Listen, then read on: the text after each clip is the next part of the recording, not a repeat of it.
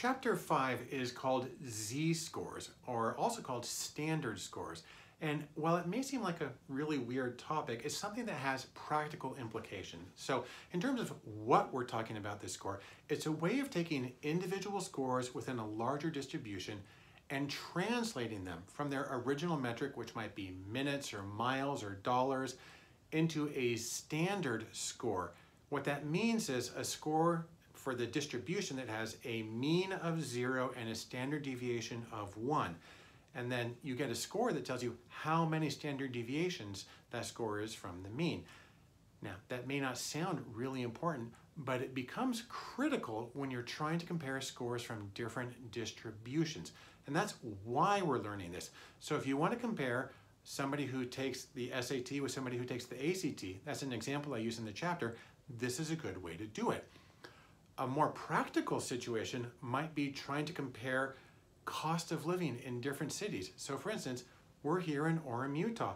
It's cheaper to live here than it is to live in San Francisco or New York City.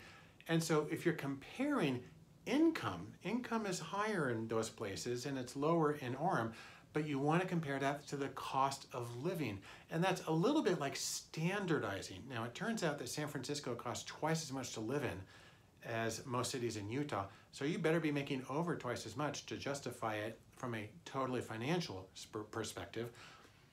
But that's one way of translating between things. Another way is if you're, for instance, doing a social media campaign for a business, but you're using different platforms. Say, for instance, you're using Instagram and you're doing something on TikTok. They have different numbers of users, and so you want to compensate for those different number of users in part by looking at the relative reach of each of these different campaigns. And z-scores are an analogous way of comparing scores from different distributions. And so, again, it can both put something into a more meaningful metric for you and it can help you make meaningful comparisons for scores that come from different distributions. That leads to practical decision making.